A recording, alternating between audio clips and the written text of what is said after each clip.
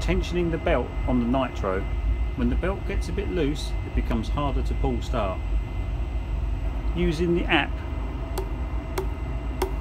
we listen for the noise and this one was registering 230 hertz. So we need to tighten it. First up, take a screwdriver, undo the clamp, remove the airbox.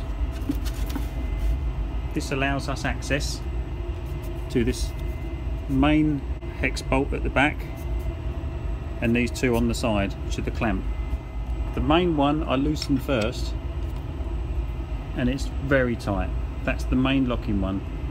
I don't remove the bolt, I just ease it so it's not completely loose. Same with the two on the side. I ease them, I don't remove them completely.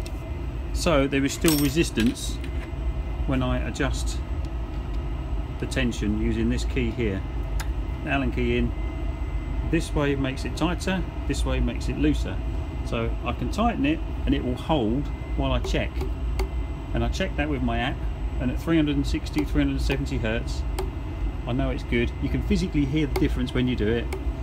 And then I go up here and I crank that one tight. The main bolt is the one that holds it the most. That one is very tight.